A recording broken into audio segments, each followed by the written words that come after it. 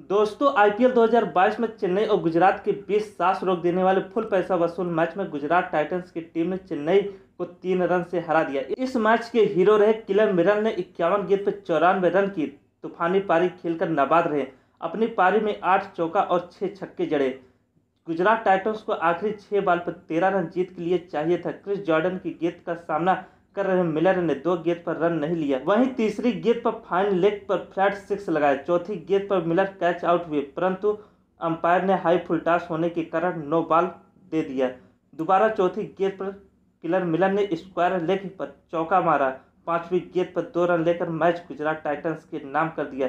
चेन्नई पहले बल्लेबाजी करते हुए दोस्तों, गायकवाड़ के 48 गेंद पर तिहत्तर रन और रायडो के 31 बॉल पर 46 रन की पारी की बदौलत बीस ओवर में उनहत्तर रन बना पाई जिसके जवाब में गुजरात टाइटंस की टीम एक गेंद शेष रहते मैच जीत लिया। कप्तान राशिद खान ने अंत में आकर 21 गेंद पर 40 रन की मैच विनिंग पारी खेलकर डीजे ब्रावो का शिकार हुए। डीजे ब्रावो ने चेन्नई की ओर से सबसे सफलतम गेंदबाज रहे, चार ओवर में तेईस रन देकर तीन विकेट प्राप्त किए। किलर मिलर को बेहतरीन पारी के लिए उन्हें मैन ऑफ़ द मैच दिया गया। गाइज़ आईपीएल के हाईलाइट से लेकर तमाम छोटी बड़ी खबर के लिए चैनल को सब्सक्राइब कर दें। साथ ही गुजरात टाइटन्स की इस जीत के लिए वीडियो को लाइक कर दें। धन्यवाद।